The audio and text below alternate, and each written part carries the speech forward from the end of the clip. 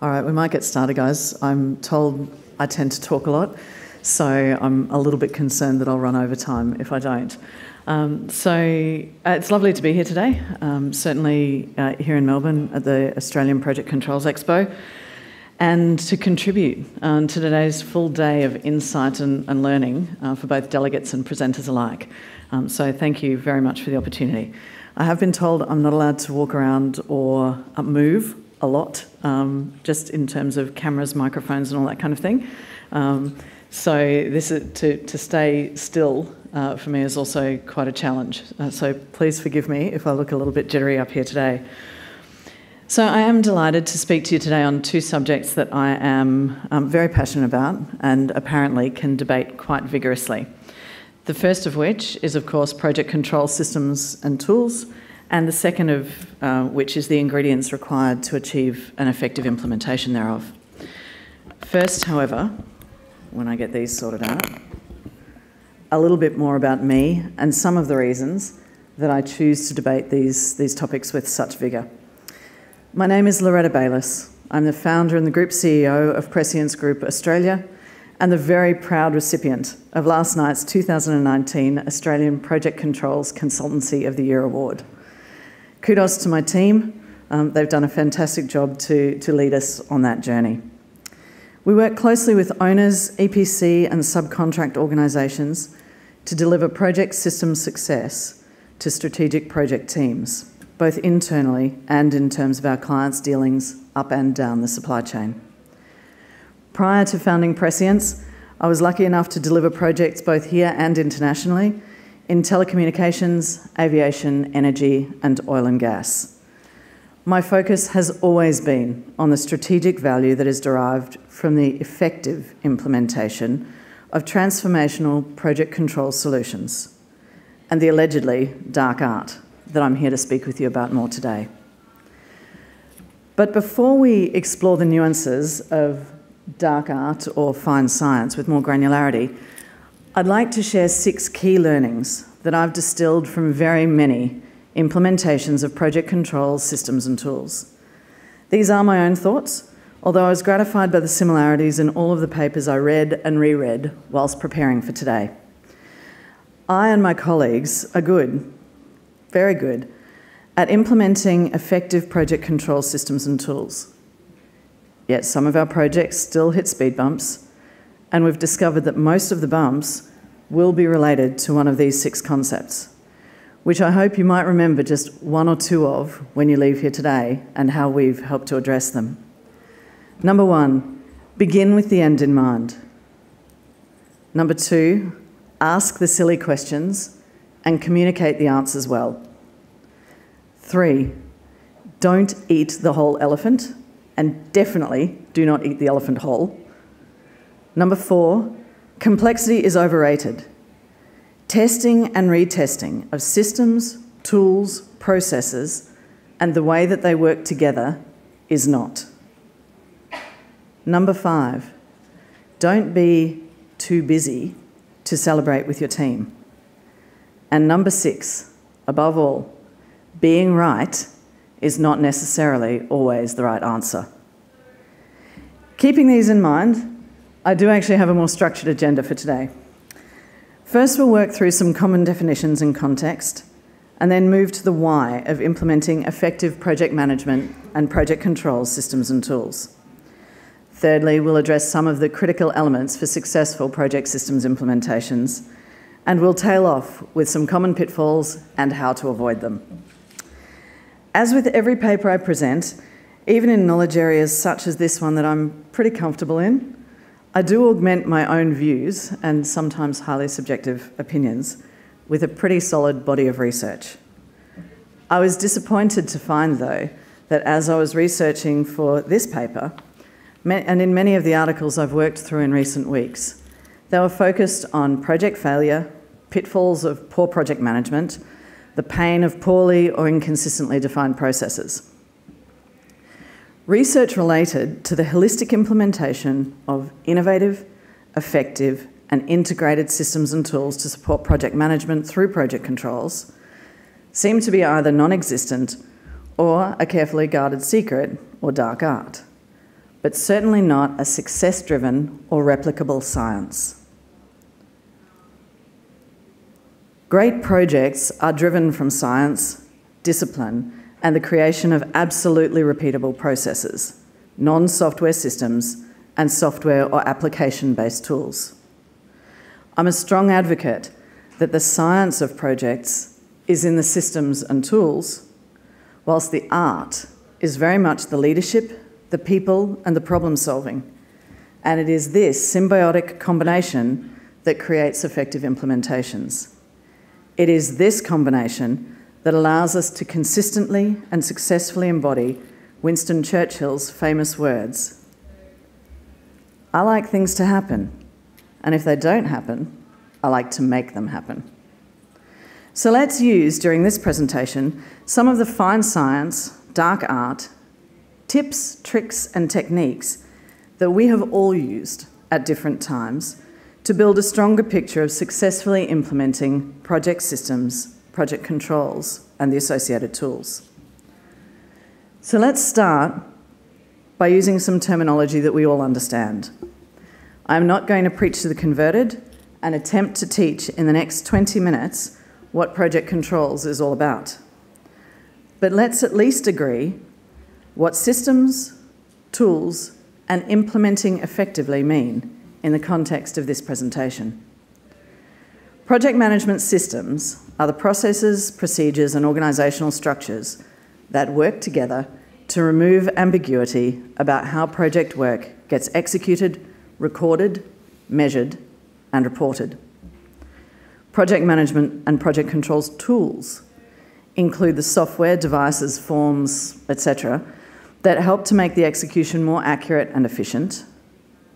And implementing effectively combines all of these to create a project controls ecosystem that supports, encourages, and enhances the project team's ability to meet project, program, portfolio, and strategic outcomes as expected.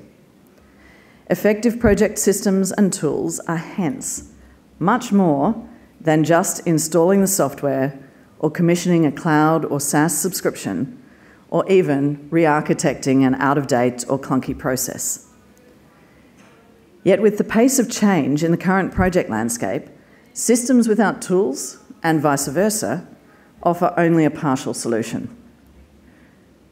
According to Longman and Mullins of Kepner Tregoe, project systems software, although a superb tool for organising and presenting project information, is not a substitute for project management or project control skills or the judgment required to apply them.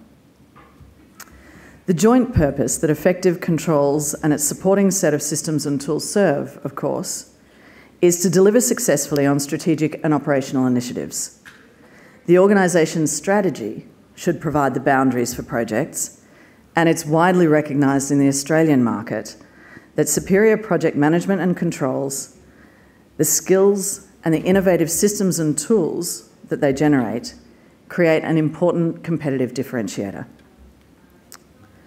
So, just as you would if you are founding a new company or establishing a brand new PMO, implementing effective project management systems and tools starts with knowing what it is that you actually want to accomplish strategically and how you want the selected systems and tools to help you achieve your vision.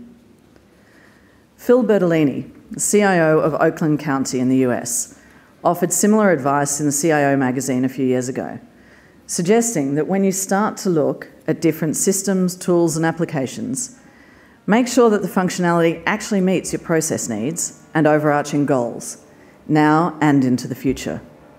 Look to the future when you select your software and tools, he says, not just at the dollars and cents. So, in addition to it being one of the seven habits of highly effective people, beginning with the end in mind starts with ensuring that you've actually defined what success looks like and what your goal is. PMI's 2017 Pulse of the Profession report states that the definition of success in projects is evolving. The traditional measures of scope, time, and cost are no longer sufficient in today's competitive environment the ability of projects and project systems to deliver what they set out to, the expected benefits, is just as important. So, understanding the goals, outcomes, benefits, and strategic alignment does then cascade down to some of the more operational early stage decisions required in order to ready your organisation for the change that more disciplined project controls brings, and subsequently to vendor, partner, and product selection processes. This isn't just about the actual decisions you need to make on these things or the outcomes that you're seeking to achieve, but also on the internal stakeholders that you need involved and require the support of the project culture you're seeking to embed into the process, the style of relationship that you want to foster with key external stakeholders as well as internal ones, and of course, your selection and functional criteria themselves. The answers will be different in every organisation and as we see across every industry. But they will be the axis on which you build and to which you return when critical issues arise during project execution. For the purposes of today, I'm going to assume that you guys have got a lot of those processes down pat. I'm going to focus a little bit more on the technology side and part of systems and tools and building now with the future in mind.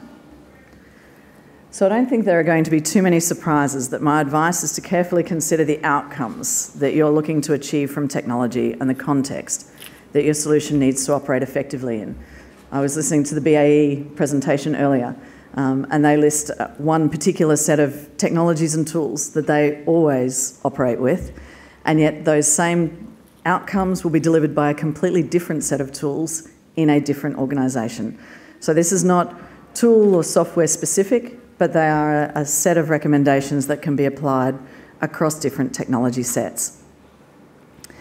So it's also not about the form, steps, buttons, screens, or functions that you'd like to have.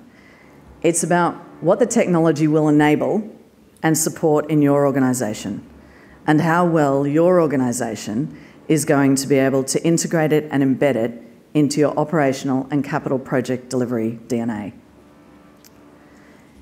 Each of the bullet points in this one and the prior slide, there was a lot there, so I'm clearly not going to be reading those out to you um, point by point.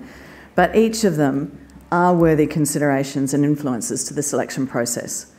Good planning for effective implementations takes time, and consideration for these will enable a far stronger and context appropriate selection at all three levels in terms of outcomes, the behaviours that you're looking for, and the functions that you need to achieve.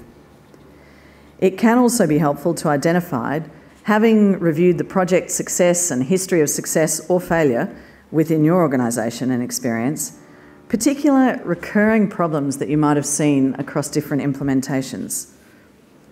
We'll talk more about avoiding pitfalls shortly, but by objectively recognising where those issues exist, you can potentially address these in your visioning requirements and planning for your pending implementation by focusing on those elements that exploit your strengths and obviously mitigate your weaknesses.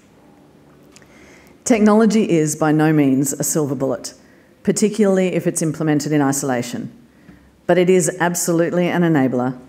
And if you have begun with the end in mind during your concept and early planning stages, you are already on the path to success.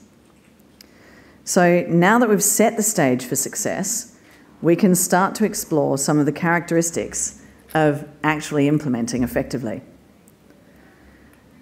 The five that I've chosen to focus on are very much vision, simplicity, preparation, execution, and governance, or the G word, as I heard it referred to earlier today.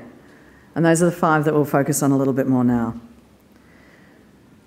We have already spoken about the strategic and outcomes side of vision and beginning with the end in mind, but there is more to vision and successfully achieving it than a fabulously articulated statement that sits in an executive sponsor's head or remains only in the opening statements of a project management plan document. Vision is also about defining a far more granular level of success, how we measure that success, both qualitatively and quantitatively, not only at the project's completion, but also throughout the implementation process. It's about having executive and operational stakeholders who believe in, advocate for, and support the intended project and project system outcomes. It is about communicating with clarity to each team member and intended solution recipient the value that the project outcomes are intended to provide to the organisation. Reduced cost, improved efficiency, and increased visibility are the catch cries of new technology implementations. Yet genuine buy in and benefit will result from digging deeper into the what's really in it for me? Really. And investing the time in understanding, driving, and communicating the benefit at all levels of the prospective solutions audience group. So, simplicity. Simple is as simple does. I'm sure that's what they say. My view 100% wrong. Appropriately simple is the core concept of successful and effective implementations. Simplicity is a key principle that we adhere to at Prescience. Not all things are simple, unfortunately, and some things should not be made falsely so. Yet seeking greater simplicity in order to avoid the unnecessarily complex is a mandate on every single one of our projects. Solutions that are easy, logical, and intuitive to use, that make sense with every step, that automate where sensible and only where sensible, and which save us time, stress, and effort are the ones that we're all willing to proactively try, willing to actively adopt, and willing to advocate and champion to our peers, colleagues, and stakeholders. It just makes sense.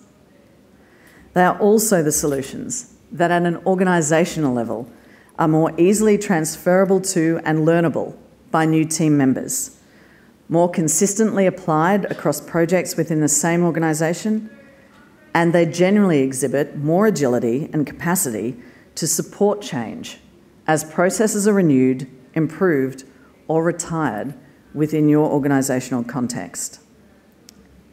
Always attempt to deconstruct the overly complex process and re architect it with simplicity in mind. Preparation, and this is one of my favourite bits of this presentation, sorry. Winston Churchill and Benjamin Franklin are two of my favourite historical characters that I would have loved to have had the opportunity to meet. Both understood and practiced the art and science of careful preparation and exemplary execution. I think you would all agree that in the context of capital projects that we're all operating in, no project will succeed without a realistic and thorough plan for that success. It is in planning for and preparing your project that you will need to make clear decisions about such things as approach, regulatory and industry compliance, depth of required testing, level of business and operational involvement, skill of your team, outsourcing, as well as existing organisational capability and capacity. Planning itself is simply working through what needs to be done to create success. Risk planning and how to treat those risks is also a core component to support effective implementations. One of our key learnings during the preparation and planning stage of every project is to determine and agree a number of strategies to stay true to scope and to appropriately address scope creep, new requirements, and non mandatory functionality as they arise. In the planning stages, and not later in the project when it occurs. In the planning stages is when you need to define how you are going to handle those things because they will occur. You need to be clear with all of your stakeholders as early as possible that scope creep in IT and project systems projects is a near given if you allow it to occur. And how you handle it collectively can drive success or failure. This is good scope governance, but it's also a good reminder that to achieve a successful outcome, we need to break the outcome down into bite sized chunks and work packages, and also determine which of those packages are truly in scope and which one can be actually relegated to a later phase. The default position, in my view, and I'm apparently quite autocratic about this, is that if it's not clearly specified as in scope, then it is out of scope until a variation declares it otherwise. But execution is where the real fun starts. This is the part of the project that I tend to enjoy the most. Many project control systems, tools, and solutions are now available in the form of cloud, SaaS, prepackaged, commercial, off the shelf, any different number of combinations, which require configuration and occasionally customization in order to meet your organisation's requirements. But just because it's SaaS, COTS, or configuration based doesn't mean that it's risk free. Far from it. Continuing a robust process of risk assessment, mitigation, and management through execution is mandatory, as is adherence to a robust and effective test strategy that tests systems functionality, off system process integration, and non functional technology requirements such as data access, security, and performance. To share just a few of the nuts and bolts of our execution process, at Prescience we have six steps that we will follow through every single execution. We call them number one, commence and confirm, number two, architect and design, number three, configure and construct, number four, validate and iterate. Number five, deploy and deliver. And our sixth step is to operate and enhance. These are supported by project management, change management, risk, and governance frameworks throughout the project. All of them, every single phase within those six stages, needs to be implemented well in order to achieve an effective implementation overall. Execution phase reporting is also an area that I believe requires focus from every implementation team. Glenn Alleman asked the question in one of his Liquid Planner uh, blog posts about project failure. How long are we willing to wait before we find out it's too late? Many of the stories regarding schedule percent complete versus a wildly differing physical percent complete. We were even talking about it at dinner last night. Additional baselines being taken to skew reporting outcomes to a more favourable position. Effective execution is about reporting progress accurately and transparently, even when it's not the message that management wants to hear. Effective execution requires well trained and disciplined project leadership and implementation team members who exhibit an intense personal courage to communicate honestly, openly, and transparently with their own team and also with internal and external stakeholders particularly when things deviate from the planned and the expected.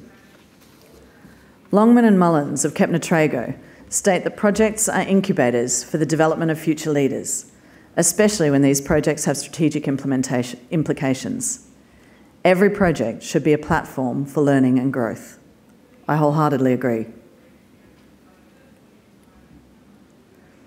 This is a great segue into project controls governance and its criticality in implementing effectively.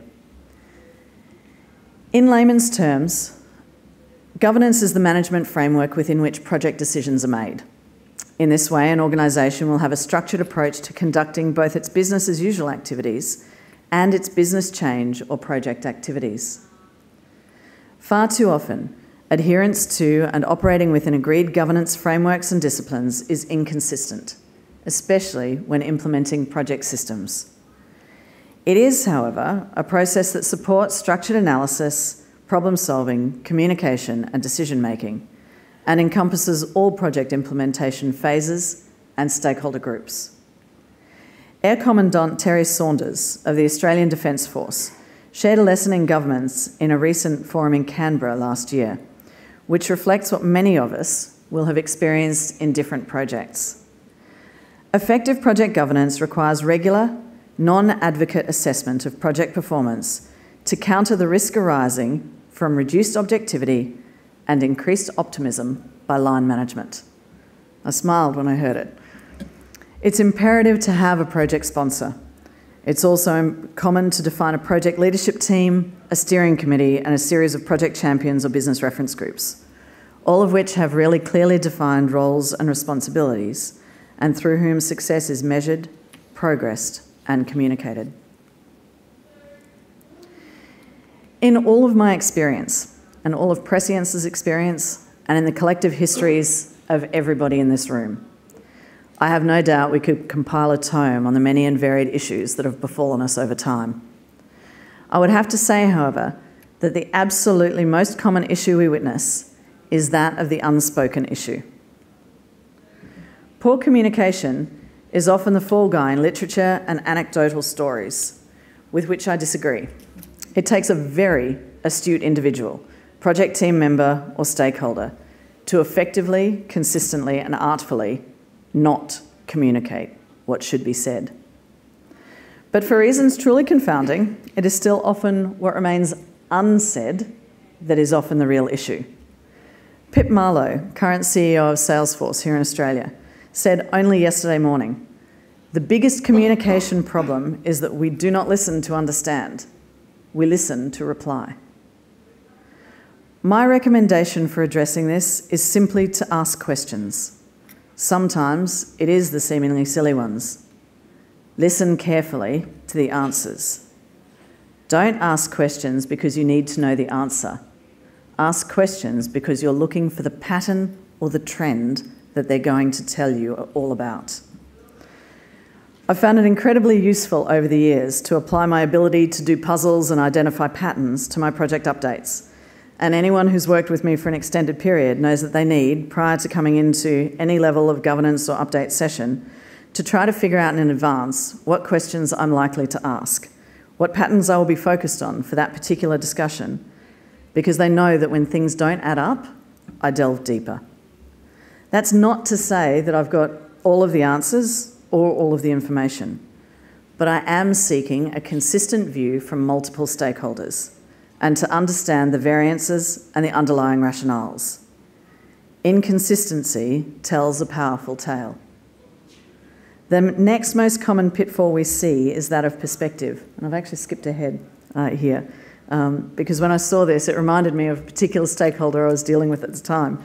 Um, she was nearly always right, but I can guarantee in my own way I was nearly always right as well. And, um, and there the twain were going to meet. Um, so the two conflicting views that taken in isolation are both absolutely correct. As I said, I've experienced this from both sides when I was younger, um, sometimes when I'm older, um, being the one who was always right, of course, and more recently with some of those particularly challenging stakeholders in large project environments who sometimes know no other way of operating. In their experience, there is no option. And although Prescience and, and my own experience brings extensive industry experience and 10 score great implementations supporting our view, both groups sticking to our position in a particular negotiation is not going to generate an appropriate resolution. Taking the opportunity to walk a mile in another stakeholder's shoes is one of my most common pieces of advice to our team, and to truly seek first to understand the basis for another's position. Being right simply isn't always the right answer. There are a myriad of other issues, but I would nominate the following repeat offenders as the next most common. First of all, insufficient testing of systems, processes, and technology. Um, I come back to the poor mechanics of scope governance. I can talk for a long time about that one. Uh, sporadic, irregular, or unstructured risk management. We've addressed in quite a lot of detail the first and the third. Um, the first being addressed by strong and multifaceted testing strategy during the execution phase, and the third through structured risk management and governance, which leaves scope governance. And I can't quite be silent on this one just yet. It's the elephant in the room that we've already talked about. But unless the requirements analysis was comprehensive right at the beginning of, of your project and prior to project start, scope is incredibly difficult to manage. Don't feel bad because you're experiencing scope creep on the project that, that you're delivering at the moment. It is natural and it is right for every client to want the absolute best system that they can get, um, the absolute best outcome that they can get. But bring it back to time, scope, cost, and quality. And somebody has to be prepared to make those decisions. It's really important to have that default position on scope and scope governance defined early in your project. No Moscow. Implement it religiously. Begin with the end in mind and remain strong with respect to your outcomes, timeframes, budgets, impacts, and not eating the elephant whole, are themes that I'd encourage you to clearly communicate with your stakeholders. So, implementing effective project control systems and tools. We come back to our, our six learnings from the start. It is both an art and a dark science. It is one that requires strong leadership and disciplined application of project and implementation knowledge and practices in order to find the right balance and equilibrium and to steer your project to an overall outcome centric success. That's all I have for you today and all I have time for, but I'd be happy to take questions if we have time and look forward to catching up after this session if not. Hi.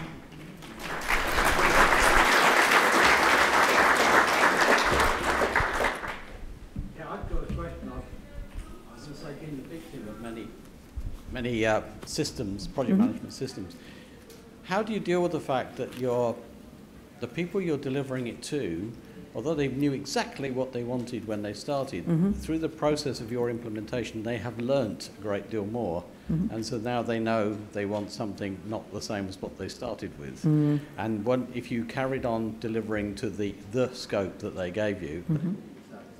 Mm. how do you deal with that? Um, I think it's a tough one. We generally, from a, a systems perspective, start with some enablement of our stakeholder groups.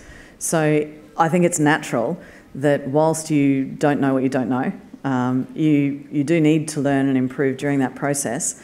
But a lot of it comes back to the way that we define um, particular outcomes as well. So, what we find is that a lot of requirements are drafted in the form of we want um, three clicks to this, or we want a button that does this, or we want F9 to do this. Um, and so, if we move away from defining the requirements in, in that respect to something that is more outcome driven, so what do you want to achieve with that? What is the, the report structure that you need to be able to drive? Because that will enable us to see how we're going to capture the data, uh, for example, um, are both really good contributors to it. So, defining the requirements and, and working through that requirements process really clearly is probably the first way.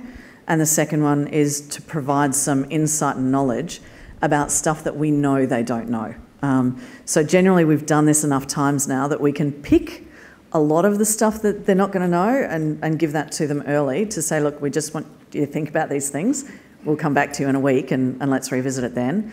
Um, but there will always be some stuff that uh, there's stuff that we learn on projects still as well. That a client will come to us and say, Well, actually, I've played with it like this and we can do this. And you sort of go, Huh, wow, that's very cool. Um, and so sometimes there is a, a bit of horse trading um, to make that work. Um, but generally, it, it comes down to what's the intent of the outcome, what's the intent of the agreement, and um, generally, hopefully, leaving the contract in the bottom drawer and, um, and ensuring that there is an outcome on both sides of the equation.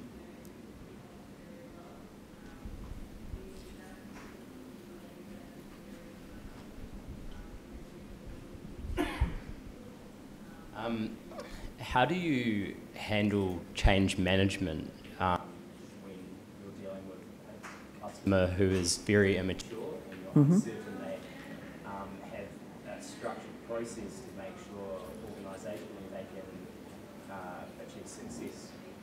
hmm Okay, so I think the, the best example I can give, and anyone from my team in the room will know exactly who I'm talking about when I share this anecdote. Um, we had a, a key stakeholder, uh, probably about 10 years ago, fortunately. I'm hoping he's changed since then, who sat there and looked at me and said, Change management, why do we need that? They'll do it because I bloody well told them to. So, okay, that's one approach. Um, and definitely not what I would incorporate into either project management or change management 101 um, by any means. Um, and so we actually started um, with, with that team um, from just looking at it from a skills perspective to say, all right, let's, let's avoid some of the, the core change management stuff and look again at what you're wanting to achieve. And what he wanted at the time was that he had too many um, operational issues not being communicated for so long that they ended up being mini explosions and he had to deal with all of them. Um, so he was too senior in the organisation to be doing that, and what he wanted to see was a, I guess, a roll up of there's some stuff that his supervisors should have been able to handle. There was some stuff that their line managers should have been able to handle, and some stuff further up. So we ended up defining a reporting structure that we could walk through with him to say, in terms of the timing, um, the data that we're going to provide through these reports, and the exception based uh, reporting, we should be able to minimise the number of issues that come to you in the following ways. So, if you can define change management in terms of how it's actually going to help your least mature stakeholder um, and give them the what's in it for me, it suddenly becomes a lot easier um, and a lot more appealing for them to contribute to and support doing that for people in their organisation as well. Um, it, that is different, and I would say that is definitely part of the art of both change management and project management is being able to read your stakeholders, uh, be able to know them well, um, but also be able to negotiate a path that is going to define a good outcome for them personally. And there's actually a um, it's actually a relationship management um, learning set that I've put my, most of my team through in terms of even when you're looking at a professional outcome, there is always a, a personal win um, in everything that people do professionally. If you can find that personal win and, and what is going to help that individual, it will help you craft a, a more robust change management strategy overall. Mm.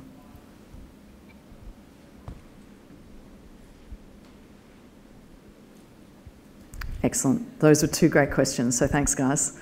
Um, so if certainly if there is any other questions or if you think of anything after this, um, we do have a, a, table down in the exhibition space. Uh, you're welcome to come and say hi. Um, and I think my details are actually there. You're welcome to give me a call or shoot me an email. Um, so thank you very much for listening. Um, it's great to be here.